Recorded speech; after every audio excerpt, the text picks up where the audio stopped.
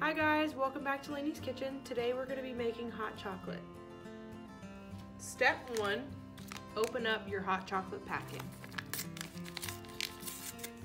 Pour it into your cup.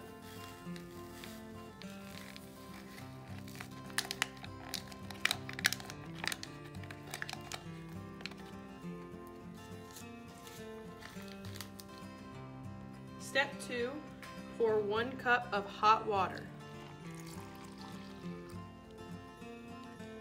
Step three, mix it together.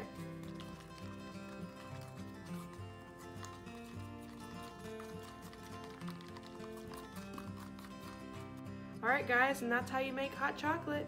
See you next time on Laney's Kitchen.